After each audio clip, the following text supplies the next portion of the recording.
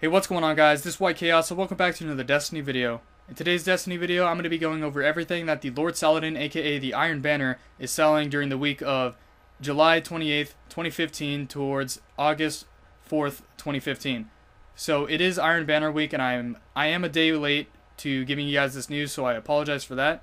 So let's get right into it. Before we start off, the weapons you can re-roll after purchase. The cloaks are different on all the characters.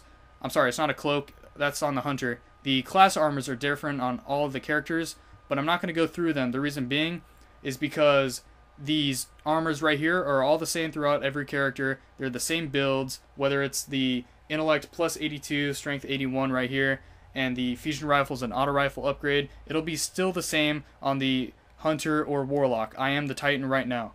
So I'm just not going to go through that on every single character because they are all the same. So let's get into it right now with the Iron Breed plate, the Light 36, Intellect 82, Strength 81, carry more ammo for fusion rifles and carry more ammo for auto rifles, unlocked on Iron Banner rank 3 for 5000 Glimmer. Same goes with this, Iron Banner rank 3 for 5000 Glimmer, but this one is Intellect 75, Discipline 81, carry more ammo for shotgun, and carry more ammo for scout rifle. Next we have the Iron Breed Great Helm, which is 36 light, intellect 62, strength 60, grenade hits restore melee energy, and more super energy from grenade kills. Unlocked on Iron Banner rank 4 for 5000 glimmer. Same goes with this, the only thing changed is the intellect plus 56, discipline plus 60, increased melee attack speed, more super energy from non-guardian kills. Now we're onto the weapons, the Efrideet's Spear Sniper Rifle, Oh, one thing I want to go over before we get get into anything else is that the reason why there's multiple chest armor and helmets is so Bungie is basically just letting you build your own class. Whether if you want, say your specialty are shotguns and scout rifles, you want this build right here. And if your specialty is fusion rifles and auto rifles, like I like to do, you would want to buy the first one. So it all depends on what kind of build you want to do. Now onto the the weapons, the Efrideet's Spear sniper rifle, it's easier to aim under fire using this weapon. Reloading this weapon has a chance to grant a larger than normal magazine. The Glimmer is 7000 unlocked at rank 4. Now the next gun is the Timur's Lash hand cannon. One random bullet in the magazine causes considerably bonus damage. Rapid landing precision hits will return one round of the magazine.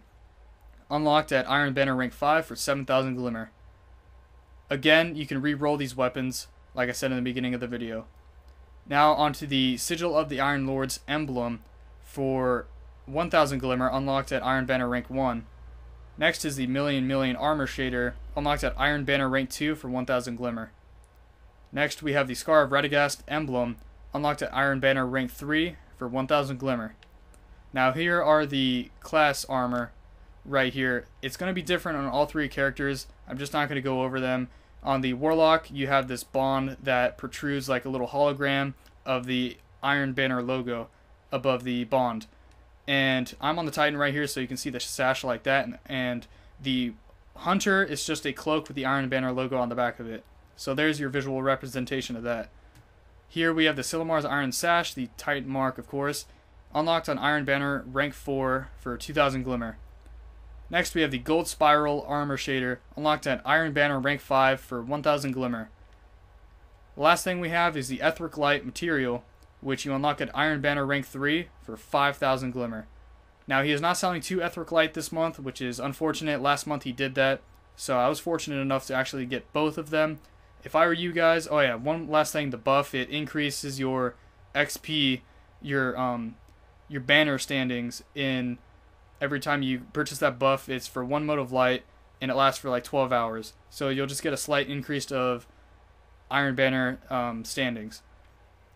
Uh, reputation, that's the word I'm trying to find. I'm sorry about that. I was kind of stumbling upon, like, figuring out which word I was trying to find. There it was, reputation. Now, if I were you guys, I'd want to purchase the Gold Spiral out of this week. Uh, definitely the Etheric Light. If you're going all the way, you definitely want to do that just for the Gold Spiral and the Etheric Light you do want. The Scar of Radegast is a cool emblem to have. I I got that last month, so I'm pretty happy I did that. And out of these builds, it's, it's really your choice on which one you want to go with. One on the uh, chest armor, you unlock those at rank 3, but the helmets at rank 4. And if you're trying to get some weapons, you're going to have to go to rank 4 and 5 for these. Considerably, you do want to get the Efrideet's Spear. I personally think, and a lot of people personally think that it is better than the Timur's Lash. So really, you need to go to rank 4 if you want that weapon. But if you want the Gold Spiral, or I think that was it, or the Gold Spiral or the Timur's Lash, you'd have to go to Iron Banner rank 5, which I'm going to be doing that anyways. So I'm going to be purchasing all these items, and maybe you guys will do it too. So hopefully you guys enjoyed the video. Let's see if we can hit 5 likes on the video. That would be amazing. I will see you guys next time for more Destiny content. I'm probably going to be uploading something about the lighthouse tomorrow, so make sure to get on at around this time just to watch that video. It might be uploaded in the morning, who knows yet. So hopefully you guys enjoyed it. Leave a like, comment, and subscribe, and I will see you guys next time for more Destiny content. Peace.